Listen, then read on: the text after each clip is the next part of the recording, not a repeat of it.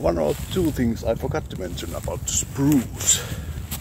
Firstly, it is very protective species. For example, this spruce, the fish house, uh, it protects the house if now this spruce were to die or whether someone inside the house were to be stupid enough to cut it down, the house immediately would erupt and it would be disastrous for the family within.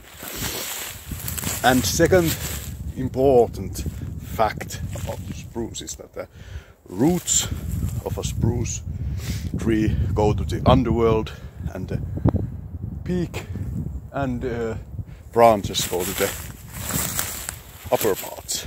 What should I call it? I might call it heaven if you are stupid.